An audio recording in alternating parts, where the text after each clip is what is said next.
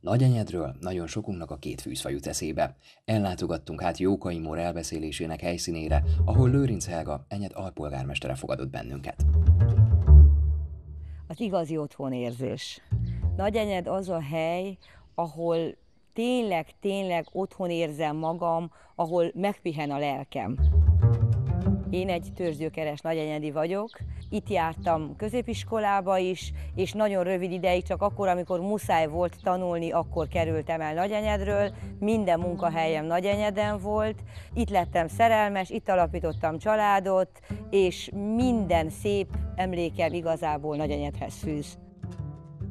Nekünk volt egy Simon Laci bácsi tanárunk, aki lehetőséget biztosított arra, hogy együtt táncoljunk, ami igazából szenzációs szórakozás volt, ami lehetőséget biztosított, hát nekünk lányoknak a nagyobb fiúkkal találkozni, fiúknak a lányokkal találkozni, ide kötődnek az első szerelmek, a hógolyozások, a barátságok, a táncok, a bulik, tehát rengeteg-rengeteg kellemes és kedves élményünk van ezzel kapcsolatban is.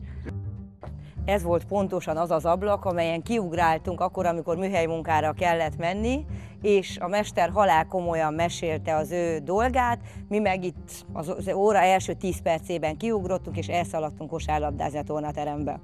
Kisdiák koromban egyszer focista is akartam lenni, utána meg nagyon sokat atlétizáltam, és Nádia Kamanecs akkor ő már nagy sportoló volt, és akkor ő nagyon szerettem, és nagyon próbáltam én is úgy tornázni, mint ő, persze ez nem jött azért össze, de 12 éven keresztül atlétizáltam, és az úgy, az úgy nagyon-nagyon jó volt, és gyönyörű emlékeim vannak ezzel kapcsolatban is. Itt a kollégiumban tényleg nagyon-nagyon figyeltek ránk mindig, nagyon jó tornatanárok voltak, és nagyon megszerettették velünk a sportot, olyannyira, hogy ilyen félosztályokat létizáltunk, aztán persze nem mindenki jutott el mindenféle versenyekre, volt, amikor jobban sikerült, volt, amikor kevésbé, rövid távot szaladtunk, hosszú távot, távolugrás, gátfutás, magasugrás, tehát hogy mindent próbáltak nekünk megtanítani, és aztán kinek mi ment jobban, a szerint versenyeztünk. Rengeteg verseny is volt a román iskolákkal közösen, utána voltak megyei szakaszok, országos szakaszon voltam jó magam is,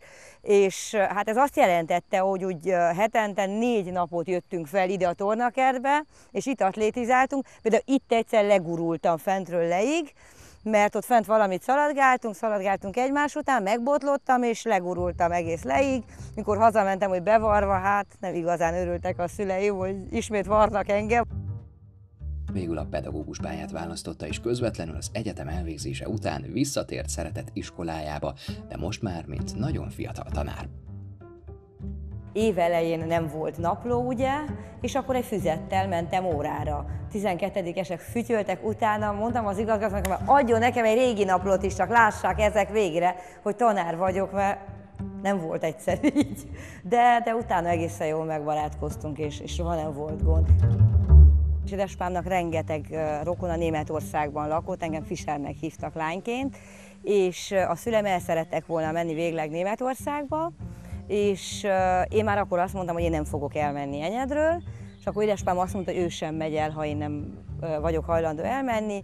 Jött a váltás, kimentünk, megnéztük, és három hét múlva hazajöttünk, és azt mondtam, hogy én nagyon szívesen megyek látogatóba, kirándulni, mindenféle, de nekem itthon Enyed van, Utána valóban a férjemmel is, hát ő olyan nagyon beszercéhez mondjuk nem ragaszkodott oda valósi révén, mert ő már 9 korában eljött, Kolozsváron tanult, a liceumban is, és nagyon szerette, jól érezte magát Enyeden, de volt egy periódus, amikor beszélgettünk arról, hogy költözzünk el Besztercére, és nagyon hamar rájöttünk, hogy Enyed a világ közepe, itt mese nincs, nem megyünk el innen.